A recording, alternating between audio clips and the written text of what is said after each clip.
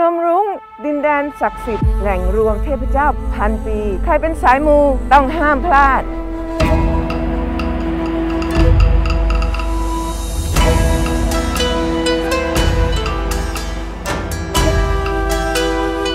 Princess Vlog นี้ถุงเหมาขอพาทุกคนมาทินภูเขาไฟกับตำนาน เล่าขานสู่ประวัติศาสตร์ ที่เป็นดั่งจิตวิญญาณและชีวิตของคนบุรีรัมย์ ถ้าพูดถึงจังหวัดบุรีรัมย์สิ่งที่สามารถบอกเล่าได้ดีที่สุดก็คงจะหนีไม่พ้นปราสาทเขาพนมรุง้งปราสาทที่มีเรื่องราวและบ่งบอกความเป็นบุรีรัมย์ได้อย่างชัดเจน ปราสาทเขาพนมรุ้งเป็นโบราณสถานที่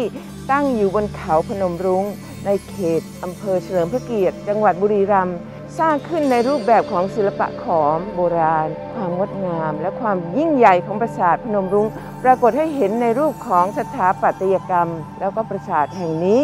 สร้างขึ้นเพื่อถวายพระศิวะเทพเจ้าสูงสุดในสายวานิกายที่ประทับอยู่บนยอดเขาไกรลาศ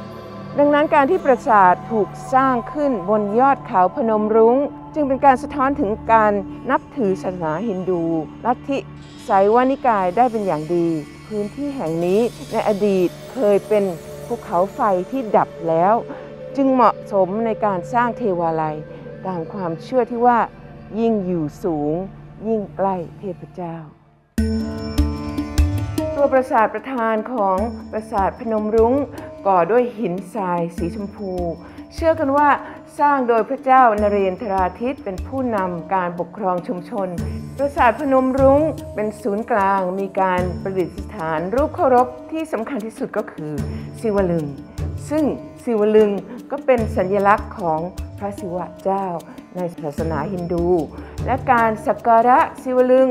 ปกติคนทั่วไปที่ขึ้นมาสักการะจะนำพวงมาลัยดอกดาวเรืองมาบูชา ตามความหมายที่ว่า เพื่อให้ชีวิตเจริญรุ่งเรืองนั่นเอง โอมนมะสิวายะโอมนมะสิวายะโอมนมะสิวายะ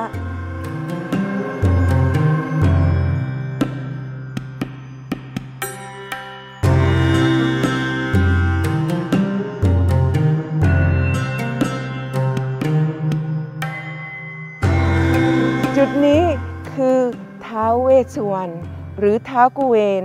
ปัจจุบันมีความเชื่อว่า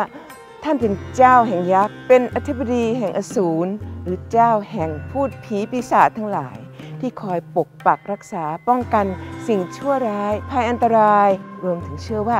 ท่านเป็นเทพเจ้าแห่งความมั่งคั่ง และยังคอยช่วยเหลือเทพองค์อื่น ๆ ในการทำภารกิจต่างๆ ให้สำเร็จ ซึ่งภาพสลักท้าวเวสสุวรรณที่ปราสาทแห่งนี้ มีอายุเป็นพันปีแล้ว ถือเป็นอีกหนึ่งไฮไลท์สำคัญที่ไม่ควรพลาดเลย ปุตตะกาโมละเพปุตตัง ธนกาโมละเพทนัง อธิกาเย กายะยายะ เทวานังปิยตังสุตวา โดยเฉพาะสายมูบอกเลยว่าท้าวเวสสุวรรณและสิ่งศักดิ์สิทธิ์ทั้งหมดในเขาพนมรุ้งแห่งนี้ศักดิ์สิทธิ์มากๆ เป็นสถานที่ที่ไม่มีวิญญาณ มีแต่สิ่งศักดิ์สิทธิ์ทั้งหมด ที่นี่เป็นสถานที่ประกอบพิธีกรรมมาตั้งแต่สมัยโบราณ และที่บุรีรัมย์นี่ก็เป็นเมืองศักดิ์สิทธิ์ เพราะฉะนั้นใครเป็นสายบุญ สายมูต้องหาโอกาสมาให้ได้สักครั้งเลยนะ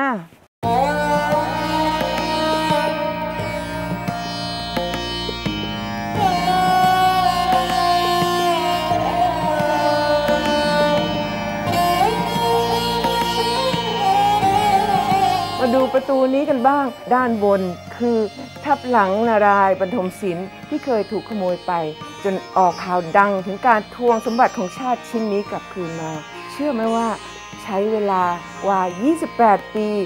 จึงจะสามารถนำทับหลังนารายบรรทมศิลป์นี้กลับคืนมาสู่ปราสาทหลังนี้ได้ ข่าวดังจนถึงขั้นมีเพลงที่พูดถึงการถูกขโมยไปของทับหลังนารายณ์เลย ใครสนใจก็สามารถไปค้นหาติดตามอ่านข่าวนี้กันได้นะ และถ้ามองสูงขึ้นไป ก็จะเห็นพระศิวะนาตราช คือพระศิวะทรงฟ้อนรำเป็นภาพพระศิวะอยู่ในท่าฟ้อนรำตามความเชื่อของศาสนาฮินดู จังหวะการร่ายรำของพระศิวะอาจจะบังดาลให้เกิดผลดีและผลร้ายแก่โลกได้ ดังนั้นจึงจำเป็นต้องสวดอ้อนวอน ให้พระองค์ฟ้อนรำในจังหวะที่พอดี โลกจึงจะสงบ หากพระองค์โกรธ และฟ้อนรำในจังหวะที่รุนแรง จะเกิดภัยพิบัติต่างๆได้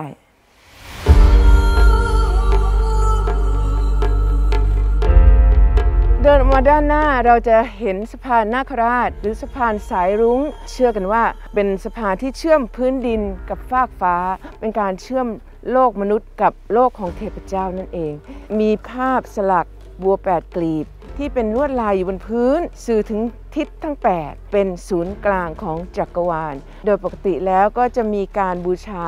ด้วยดอกบัว และการรำอัปสรา เป็นการร่ายรำถวายสิ่งศักดิ์สิทธิ์ ซึ่งเป็นเอกลักษณ์ของจังหวัดบุรีรัมย์ส่วนนางอัปสรา มีความเชื่อว่าเป็นนางฟ้าที่อยู่ถวายงาน เทพเจ้าสูงสุด บนเทวาลัยแห่งนี้ และการไร่รำที่อ่อนช้อย ก็ได้แกะท่ามาจากภาพสลักสิวะนาตราช ซึ่งแสดงถึงความอุดมสมบูรณ์นั่นเองแล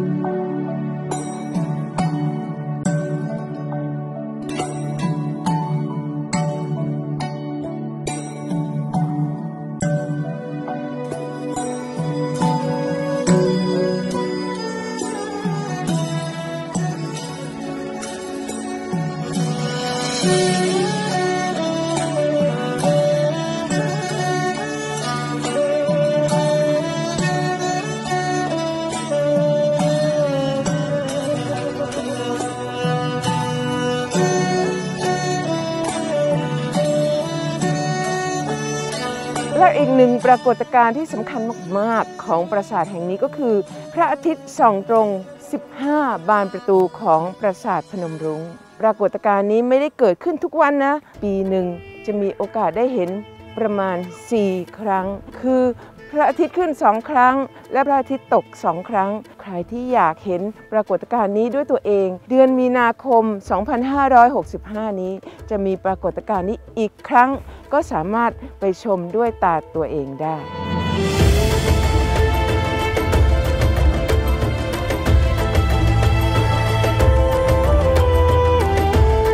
สำหรับอุทยานประวัติศาสตร์ เขาพนมรุง้ง คือโบราณสถานที่ถูกขึ้นทะเบียนเป็นมรดกของชาติ และกำลังเสนอชื่อต่อองค์กรยูเนสโกเพื่อเป็นมรดกโลก เพราะฉะนั้นแล้วการมาเที่ยวชมปราสาทเราจะต้องเคารพกฎระเบียบ และข้อห้ามอย่างเคร่งครัด หินทุกก้อน ดินทุกเม็ดในปราสาทล้วนแล้วแต่เป็นสิ่งสำคัญของคนพื้นที่ หากต้องการบูชาจริง ๆ ให้เรายกมือไหว้ และน้อมจิตนำสิ่งนั้นไว้ในใจดีกว่า ยิ่งไปกว่านั้น การขีดเขียนข้อความต่างๆ ลงไปในโบราณสถานถือว่าเป็นความผิด โบราณสถานคือสมบัติของชาติ เราทุกคนคือเจ้าของร่วมกัน หากมีคนใดคนหนึ่งไปขีดเขียนหรือทำลาย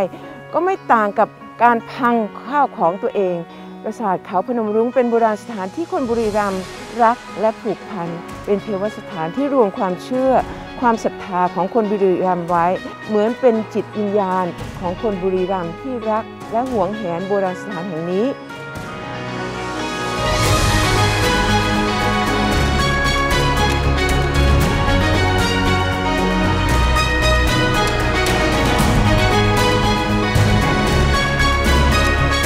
ทั้งหมดนี้คือความอันซีนของปราสาทเขาพนมรุง้ง ถานที่แห่งศรัทธา ไม่ว่าจะผ่านไปกี่พันปี ปราสาทแห่งนี้ก็ยังคงเผยความยิ่งใหญ่ในอดีต ให้พวกเราได้สัมผัสและภาคภูมิใจ จวบจนปัจจุบันพบกันใหม่วีล็อกหน้า สวัสดีทุกทุกคน